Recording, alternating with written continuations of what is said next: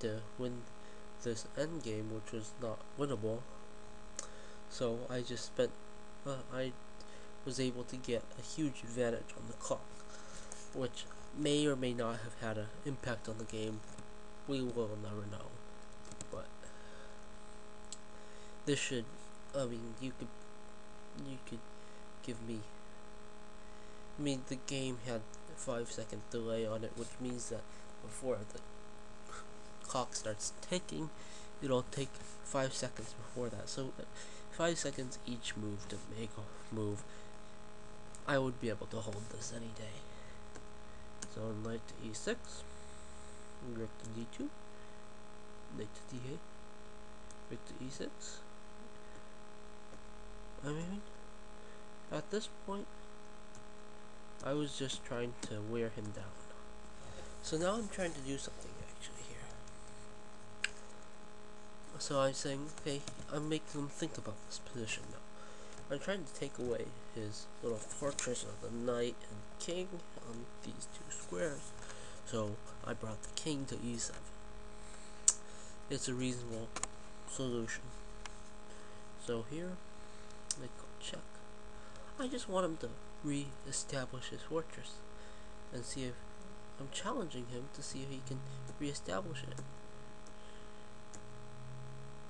And here I focus. Well, for, this is a very important check. Just push the king one step further away. That's one tempo that he may want. For so I I instinctively did it. I didn't calculate.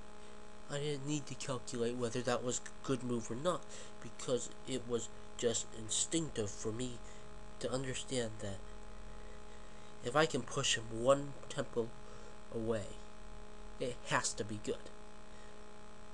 It has to be advantageous. Although, you know, I don't know that I'm it's gonna be winning, but look, I don't think the I don't know the position is gonna be winning either, so let's just continue on. King a6, rook e3. Look, I like I said before, I am focused on dominating this knight. Trying to force it onto an island of its own. Now, at this point, I'm just threatening king to e4. And I think at this point, I think he's lost. The knight is too far away. Again, dominating this knight. Trying to isolate the knight even more.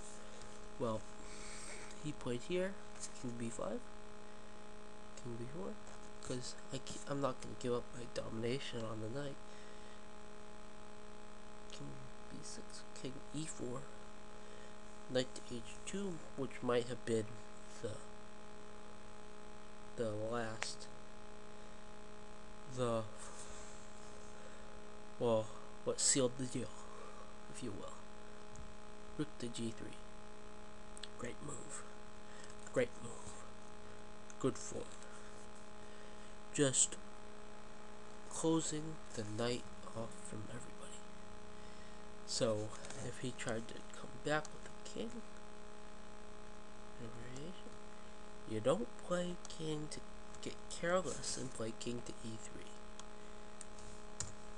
Because knight to f1 check and it is a draw again which would be very disappointing if if if you worked 109 moves and blew it with 109th. Right, so King D3, good form. King D4. Uh,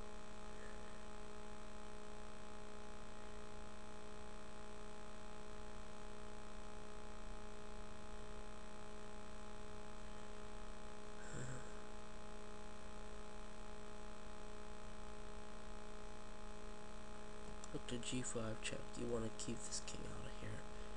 And then king to e2 and then the threat of because now you've just dominated the f1 square so just rook coming back and this is a win. Easy win. I mean so king.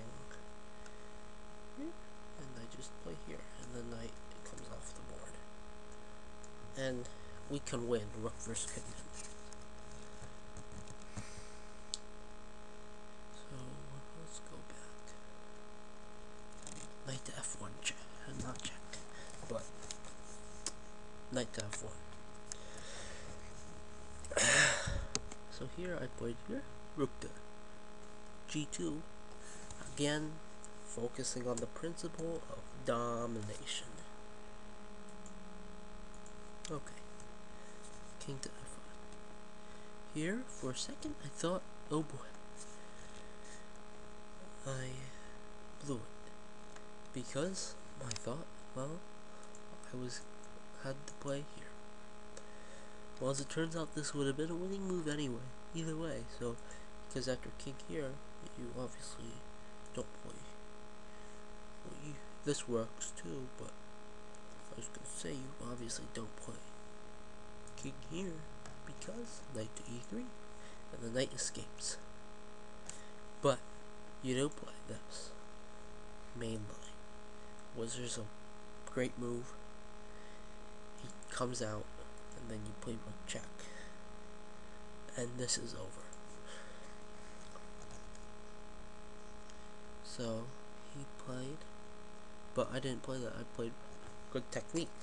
King to d3, edging this king out. So he played king to d5. Maybe I could have played here. Maybe this would have been slightly better technique. I don't know. Really, it doesn't matter. To e2. The e4. Yeah. King takes. King here. Rook. He played on, but it's this is lost. And here he resigned. So this was my game versus Michael Ambartsounian. He was a 1826 player at the time. He is son of an international master. Um, he uh, he won the under 1800 at section at the Western Class Championships in Agoura Hills in, uh, a few months earlier. So he's uh, improving his game a little bit. So but at the end of every game, it's good to wrap up and take stock of what happened in the game. So let's quickly just go fly through the game. Knight f3, c6. So the queens came off. And here he made a mistake. He should have played knight to b6. His two main counterplays. Counter his main counterplay comes from the advancing of the e6 or c6 pawn. Knight b6. Knight, uh, the knight on d7 helps that. Knight to b6 was a mistake because it took away from the possibilities. So I'm gonna just zip right through this. And here we also notice that I made a mistake with bishop to c4, allowing him play c4.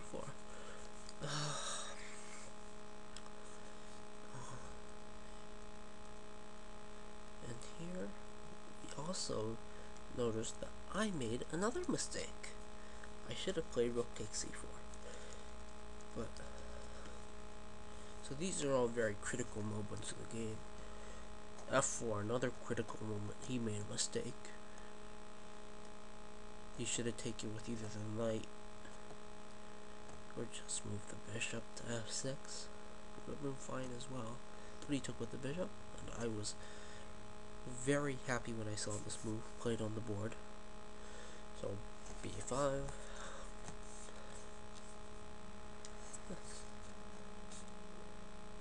I don't think there was much choice. I mean, he could have played here bishop to d2, but then rook a2, and I don't